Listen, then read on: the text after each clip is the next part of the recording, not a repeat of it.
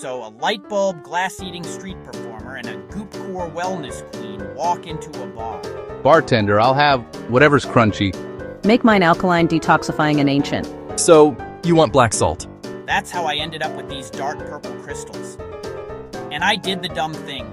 I pull a few big chunks out of my grinder, pop them in my mouth, salty, savory, and then it turns into a lava rock, like I'm chewing a tiny asteroid. So I Google it and find out Kala Namak isn't just mined and done, it starts as rock salt. Then humans said, let's put it through a furnace like ceramics. They kiln fire it with charcoal and plant stuff to trigger a chemical blow up. That's why it smells like boiled egg, egg, fart, umami. It's sulfur compounds showing up to the party. And the lava rock thing?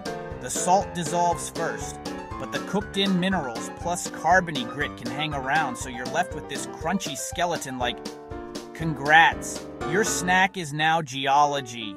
And then the marketing's like, ancient volcanic ritual crystals. No, brother. Someone basically smoked a rock and upsold it as wellness. So, you two have anything in common? I eat glass. I eat kiln-fired salt that turns into pumice. Wow. So you're both not afraid of a little grit. So, if you don't mind chewing glass, you probably won't mind getting real up close and personal. Anyway, that's why this salt is cooked on purpose. Follow for more. Why is this food like that investigations? And please, don't eat light bulbs.